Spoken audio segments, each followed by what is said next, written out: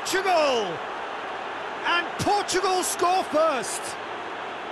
Swift, incisive, deadly, all done in a matter of seconds. Yes, the turn and finish is to be admired, but what about the sense of urgency and desire to move the ball with such pace on the break as soon as it was retrieved?